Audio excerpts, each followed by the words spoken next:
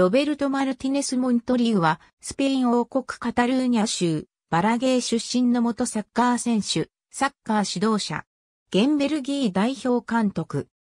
現役時代のポジションは MF。現役時代は、スペイン国内では、レアル・サラゴサに在籍した経験を持つ。1993年6月20日のアトレティコ・マドリード戦で、マルティネスと同じくこの試合がデビュー戦となったルイス・カルロス・クアルテードとの交代出場でプロデビューを果たしたが、リーガ・エスパニョーラでのプレー経験はこの1試合のみに終わった。1995年7月25日、デイビッド・ウィーラン会長に誘われて、フリートランスファーで、ウィガンアスレティック FC へ移籍。その後、マザーウェル FC、スウォンジンシティ AFC などに所属し、2007年に現役を引退。監督転身後はフルススウォンジーを24年ぶりにフットボールリーグチャンピオンシップへ復帰させた。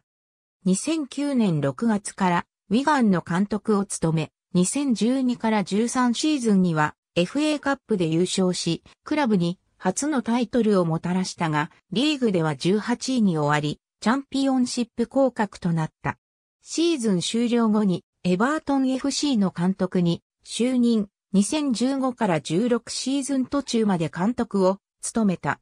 2016年8月6日、ベルギー代表の監督に就任した。ありがとうございます。